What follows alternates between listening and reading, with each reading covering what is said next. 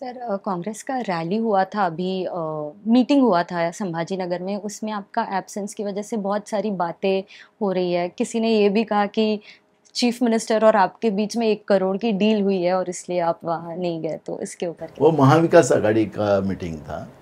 तो महाविकास आघाड़ी की मीटिंग में वहाँ हमारे अशोक चौहान जी थे। उधर हमारे अमित देशमुख थे जो मराठवाड़ा से हमारे लीड करते हो। हमारे कांग्रेस पार्टी के लीडर है। वहाँ मैं जाता तो मेरा स्पीच होता। मैं चाहता था कि मराठवाड़ा के लीडर लोगों का स्पीच हो। और इसलिए मैं वहाँ नहीं गया, लेकिन मुझे दिल्ली भी बुलाया था। मैं दिल्ली में था, आपको सबको पता है। और फिर दूसरे दिन मैं सुबह छः बजे सूरत पहुँच गया था। तो अब कोई कुछ बात बोले तो किसके बारे में क्या बोले? क्योंकि लोकतंत्र में सिर्फ़ मोदी को कुछ नहीं बोल सकते। हमें तो कोई भी कुछ बोल सकता है।